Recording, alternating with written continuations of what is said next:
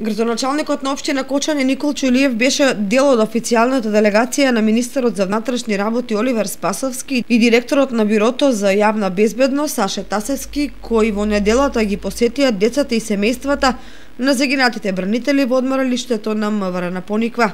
На средбата со децата и семејствата на бранителите кои го минуваат зимскиот одмор на Пониква,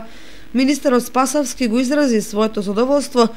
што има можност да се сретне со нив за да поразговараат околу актуелни прашања од важност за нив. Спасовски истакна дека тој и раководството на МВР се нивни пријатели и подражувачи и дека тоа партнерство безкомпромисно продолжува и во иднина.